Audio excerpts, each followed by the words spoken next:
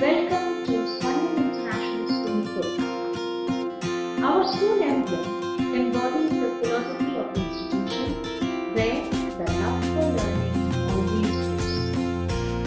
From the school emblem to the classrooms at Swarnim, nature is an integral part of our curriculum. The knowledge tree, spreading smooth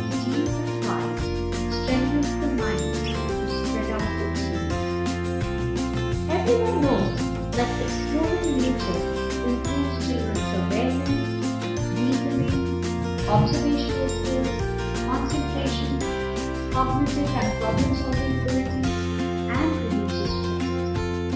But we have observed that lack of green spaces and safety concerns are forcing children inside their homes and in their classrooms.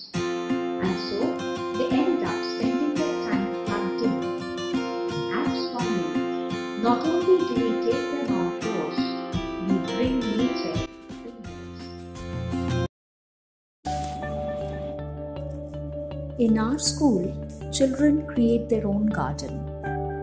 They plant saplings in troughs made out of bottles, water it every day, and watch it grow slowly as they grow up. Some keep wheat in wet cotton and observe how germination takes place.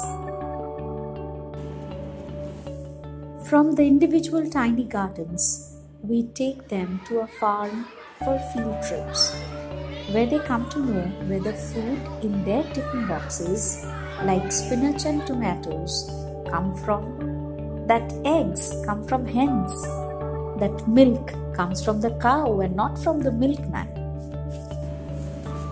This food gives them the energy to climb high up the wall and roll in the sand. They appreciate in their own way that they can have fun with things which mommy to throw.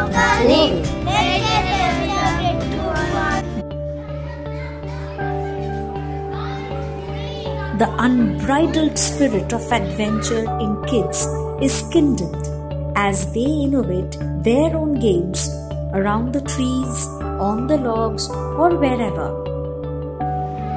Teachers lead them into the realm of imagination and creativity with storytelling sessions in the open air under the trees. Tagore has said, and I quote, We have come to this world to accept it, not merely to know it. We may become powerful by knowledge, but we attain fullness by sympathy. This truth is so evident when our little ones walk into the aviary to be in harmony with all existence. The 1000 square feet aviary has about 50 birds of different species, rabbits and guinea pigs. During our carnival, we bring in hens, a calf and a baby goat too. We strive to give them only two lasting bequests. One is roots and the other is wings. At Swarnim, we sow the right values so that the love for learning always grows.